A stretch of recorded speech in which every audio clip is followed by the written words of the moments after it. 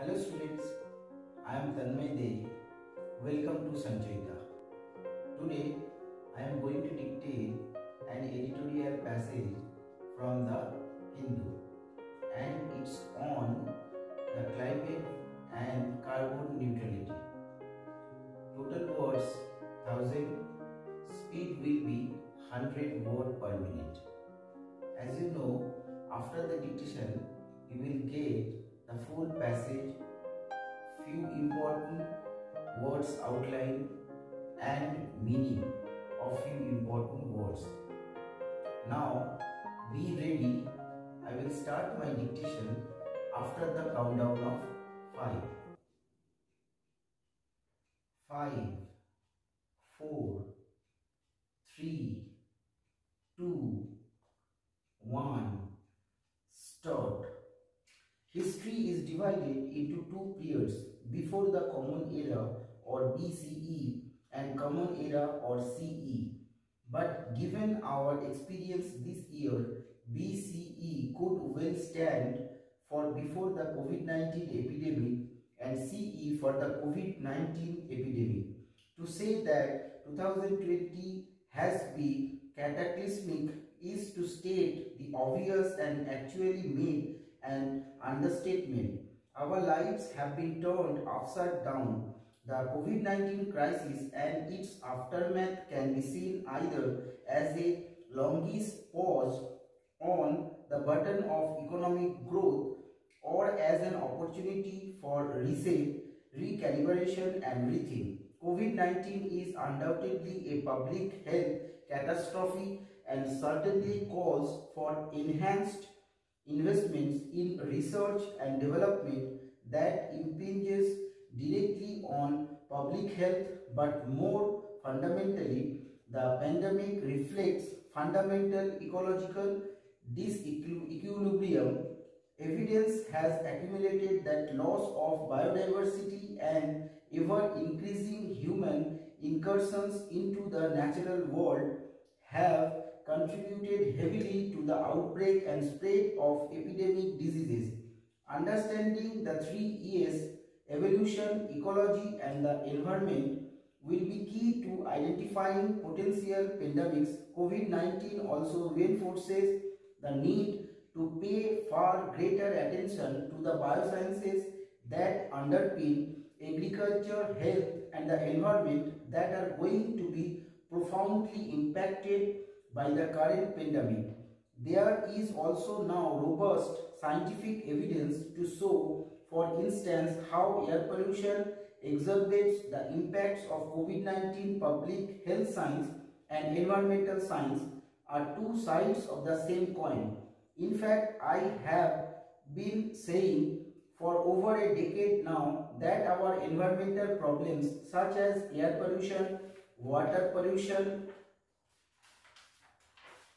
chemical contamination, deforestation, waste generation and accumulation, land degradation and excessive use of pesticides all have profound public health consequences both in terms of morbidity and mortality and hence demand urgent actions. The traditional grow now pay later model is not only unsustainable in the medium to long term but also dangerous to public health in the short term.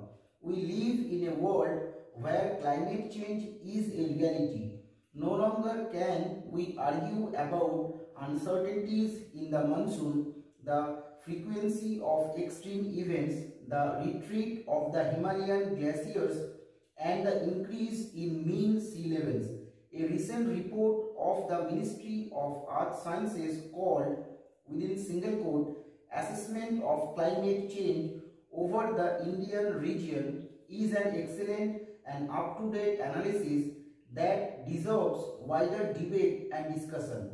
It also points to the need for making our future science and technology strategy in different areas anchored in an understanding of the impacts of climate change caused by continued emissions of greenhouse gases.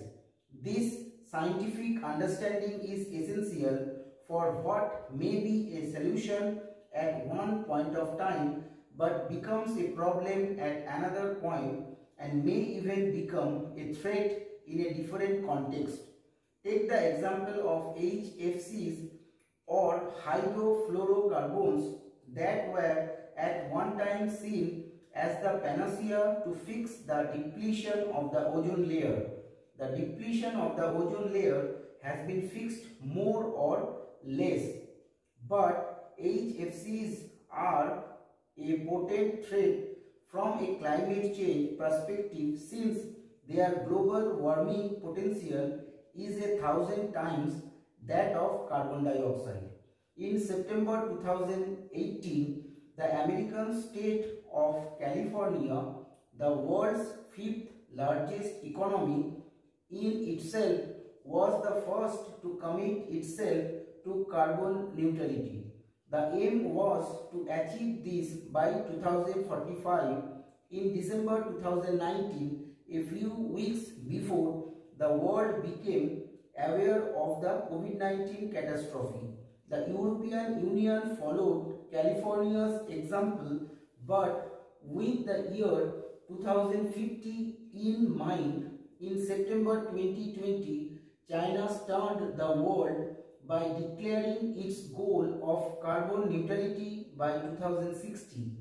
And just a few weeks ago, Japan and South Korea joined the club by announcing their intention to do so by 2050 like the UE India too has to begin thinking very seriously about its level of ambition in this regard especially since this will have public health consequences as well.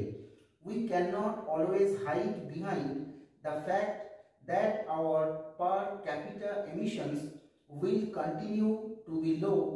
That is obvious given the continued increase in the denominator.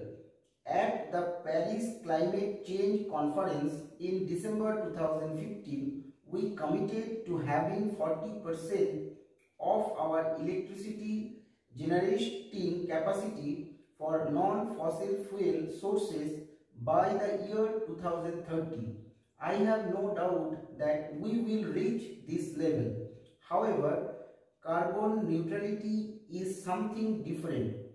Definitions vary bit in simple terms and I am deliberately introduced by instruments like offsets, it should mean that for a country, carbon emissions are equal to absorptions in carbon sinks, of which forests are one.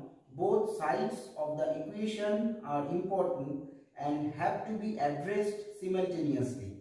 At Paris in December 2015, we made a commitment on carbon sequestration through forests but I have serious doubts on its credibility. To my mind, this is a matter of overriding priority. We will definitely become, become a $5 trillion economy in a few years. That is an arithmetical inevitability, give or take a few years. Carbon neutrality, on the other hand, is a far bolder and worthwhile goal, the attainment of which has to be consciously engineered. It will involve massive scientific invention and technological innovation, especially when it comes to removing greenhouse gases from the atmosphere. But let me add one note of caution here based on our disappointing experience with nuclear energy. There is simple no silver bullet waiting for human ingenuity to harness. Every solution being put forward these days, the most recent of which is what we refer to as geoengineering, is riddled with complications that are not easy to resolve. Of course, renewable is an integral part of the solutions we seek, but they have to be seen as more than just devices. They open up avenues for re-architecturing systems as a whole. This has happened, for instance, in the German electricity sector over the past decade and a half. The post-COVID-19 world is an opportunity for us to switch gears and make a radical departure from the past to make economic growth ecologically sustainable. Stop writing.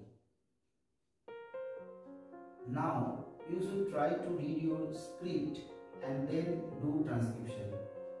This process will help you to increase your speed and accuracy in stenography.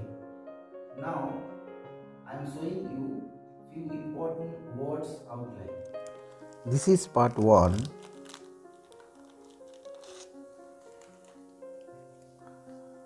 This is part 2.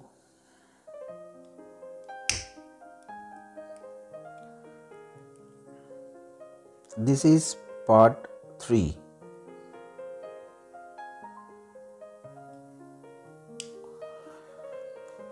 Now the meaning of few important words.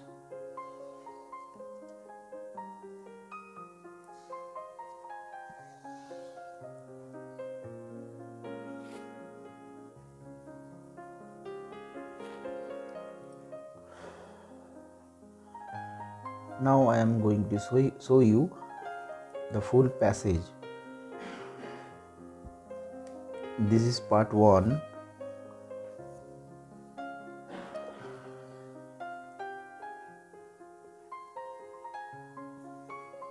this is part 2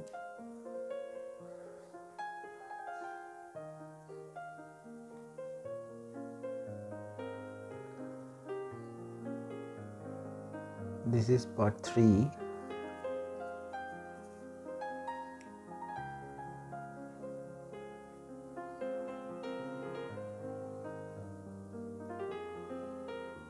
this is part 4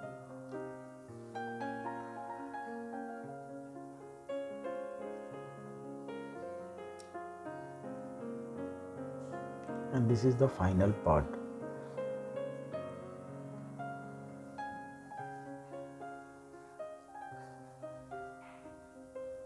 Thanks very much for watching. If you think this dictation is useful to you then give your response or suggestions through comments under the below comment section of this video. Take care